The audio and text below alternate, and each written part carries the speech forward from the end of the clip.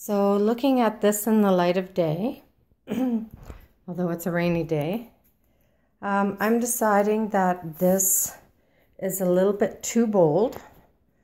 So I'm going to soften it up a bit um, by dropping some alcohol on it. I have to flip the glass over and I'll show you what happens when I do that. It's pretty cool. Okay, so I have just a little bowl with regular old rubbing alcohol. Um, and this is ink paint. And on this side, it's quite shiny. I did etch the glass. I don't know if you can see, I just used armor etching. I like the effect. Um, you can drop alcohol on it any way you want. You can use an eyedropper. I like this because I like the, um, the effect of the bigger dots. So here we go. And then you'll see the alcohol reacting with the ink. Kind of thins it out, spreads it. And that's what I want. I'll show you when I'm done. So I basically just dropped um, alcohol on it from up high. You can see the little splashes make these cool marks and some of those heavier areas have released. But it's also given me really nice borders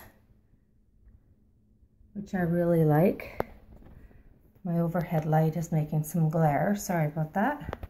The other cool thing you can do take a straw. Watch this. Oh I get? It and you can fan it out a bit which is what I'm going to do.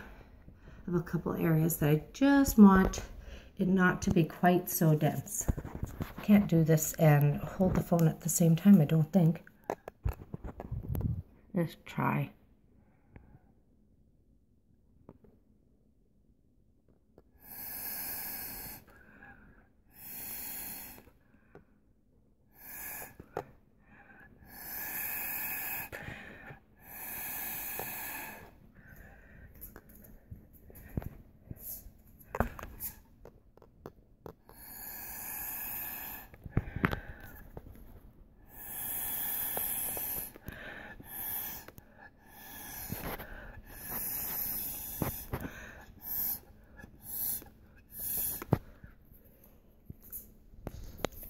Really liking how this has turned out. This spot is a little bit too dense for me still.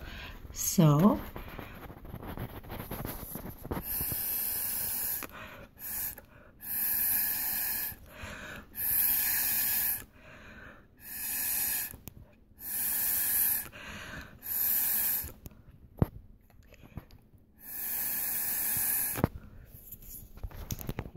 much better. It's still intense, but it's not as dark as it was. Um, this spot is still a bit too dark.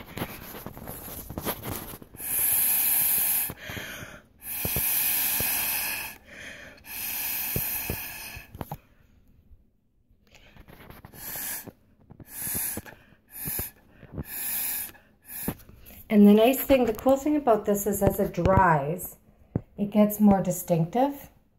It gets a little easier to um, move around as it, uh, when it's really wet with alcohol, it tends to slide back. But see, there's a big piece here that I don't like. Let's see if I can show you how this works.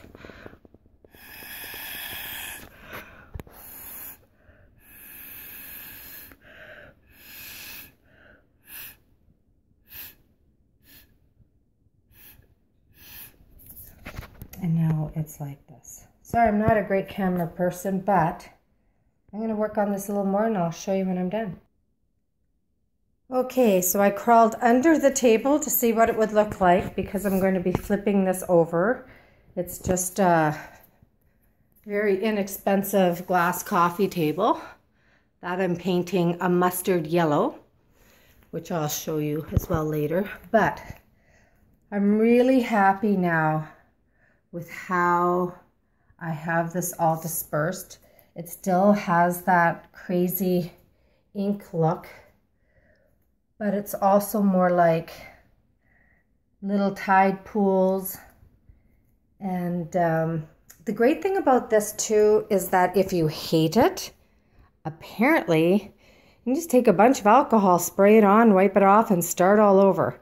So I'll be spraying this with, um, it's a clear acrylic, just to set it so that when I'm wiping it, uh, it'll be fine. The other thing I'm going to do, once this sets, is there's a beveled edge here that I did tape off, and you can see where the etching is.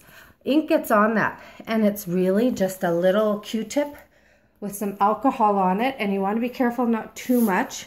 So go with your Q-tip. I did some last night, so I just have to clean it up later. And a paper towel, just to get it all off as much as you like. So I'm going to try to show you what it looks like from underneath. So for me, really pretty. I love the look. And then once the legs are all mustard brown, uh, like a mustard yellowy brown, I should say, I think it's gonna look just awesome. Totally gonna do more of these projects. Um, I hated my coffee table. I hated all the smears on it. This is gonna be some great camouflage.